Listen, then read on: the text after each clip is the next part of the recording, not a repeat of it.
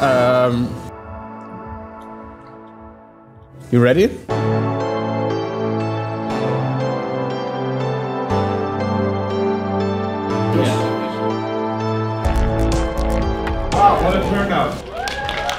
So this week is one of our most exciting weeks. We have Discovery Week going on, which is the week where we fly everyone in from our Madrid office as well as the folks that are remote to our Berlin office and we collaborate on any projects that anyone can actually pitch and form new groups, new teams, uh, just to spend you know five days together thinking outside of the box. This year, I feel like people just like hit the ground running since the beginning. Also, this time we had way more um, fun activities.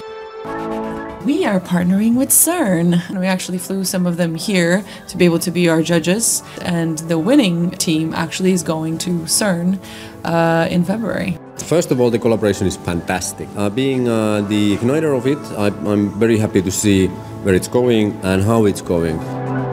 Super nice. I always enjoy coming to Berlin just to be with the people. What project are you most excited about? The animals, I think. So the idea was to make also for them to gather like resources based on creatures and then also like hunting creatures and then also potentially taming them. We are trying to implement aspects of Seed's wonderful backstory and give seedlings a history.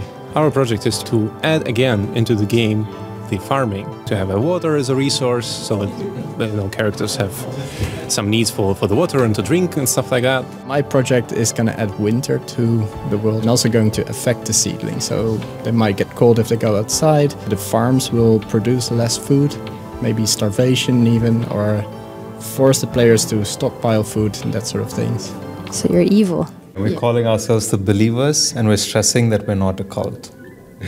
That's what cults do right no, we're not a cult. what we're trying to do with this is essentially take the seedlings and give them a, a sort of set of beliefs, kind of a belief system, if you will, and have that help them make decisions. Okay, they're uh, they're a little busy now, so we'll come back later. So we are in the CERN uh, workshop.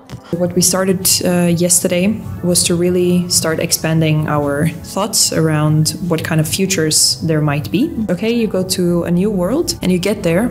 And what do you see? Our planet is purple. We have purple oceans. We have giant trees. When they started eating um, raw mushrooms, they essentially started to consume the real matter of the planet and start to gain more mushroom traits.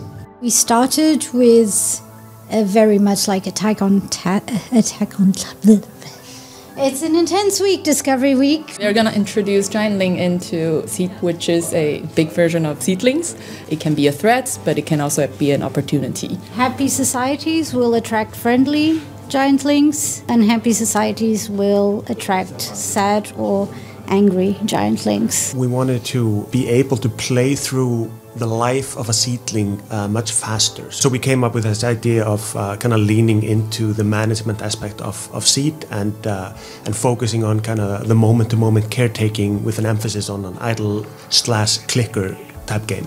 At the moment, I'm working on skill trees and stuff like that, which is really good fun, um, and it just lets you think outside the box a lot more. Go ahead. You take that? No, you take that. Okay, I don't know. Um, he doesn't know. No, I know. We're doing hospitals and we're doing like plague, disease, um, viruses. So right now in the game we have like two laws, uh, and also we have only one way of ever changing that all up.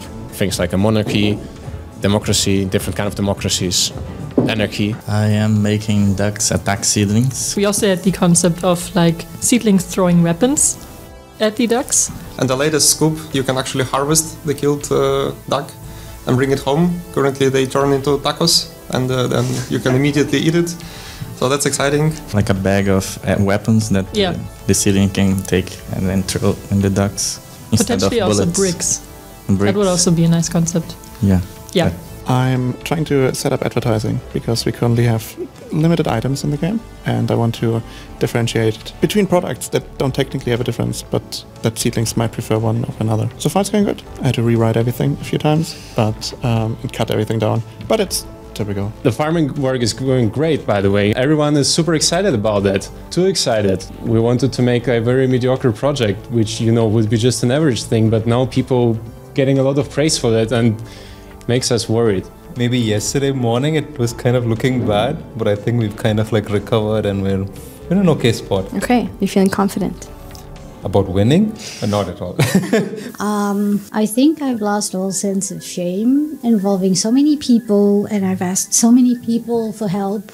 And yeah, it's We have had some last minute bumps, but uh, people were, were working late uh, into the to the night last night. Um, and most of it seems to be coming together now, so I think the demo should be demoable just in the nick of time. I think we finished everything we set out uh, to do, right? was very nice experience. And surprisingly, no like lack of sleep or anything, or maybe Yeah. maybe I right. woke up at three. You start going really kind of divergent at the beginning of the week. You're like, oh, I have all these crazy ideas, and then you're like, oh no, I only have a day left. I have to like cut, kill this idea, kill this idea, kill this idea, and that's where the magic happens. That's kind of when you boil it down to like the core essence. Mm. You create a diamond.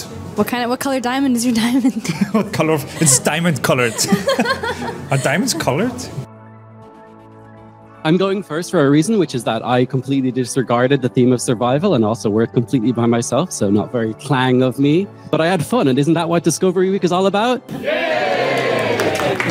So this is the old land mode. So this is the new one that I made. Ooh. Me and Sergey, we set out to um, make infectious disease. So uh, we have the, the plague and we have uh, hospitals. instead of just adding a natural catastrophe, a kaiju sort of feature, how about we do something that ma- makes the players feel more connected? You see the farming fields, nothing much is happening. The fields need water. My goal was to uh, ruin farming.